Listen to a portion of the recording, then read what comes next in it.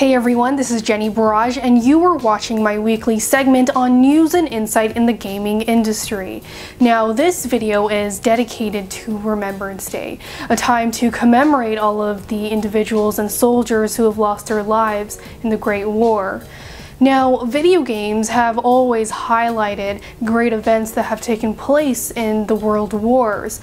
Oftentimes, these games are praised for their realism and their historical accuracy.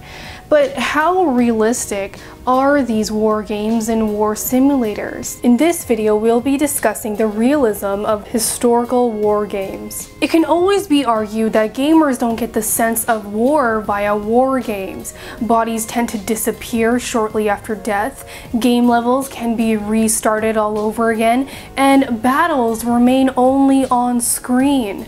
But when considering war games, it's good to know that gamers tend to gain much more empathy and understanding of the war than via any other medium. When you think about war games, Call of Duty and Medal of Honor tend to come in mind, at least for me. These video games have recreated experiences of an allied soldier at war, where the soldier is our heroic protagonist. The Microsoft Flight Simulator series have also grasped on historical World War accuracy.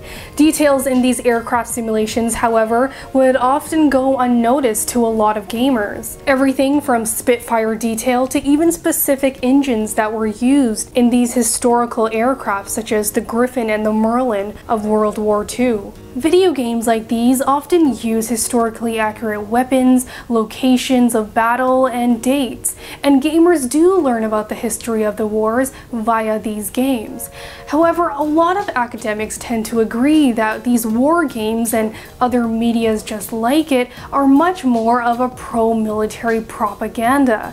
For example, in the Call of Duty series, some of the games focus on World War II, yet the gamer isn't exposed to the extreme horrors of the Holocaust in these games, perhaps one of the most significant events of the war itself.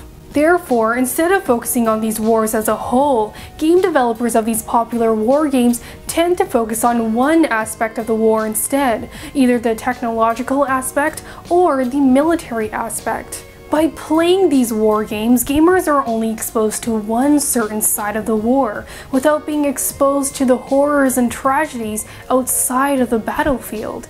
So even though these war games include historically accurate names and locations, is the connection to the world wars realistic in these games?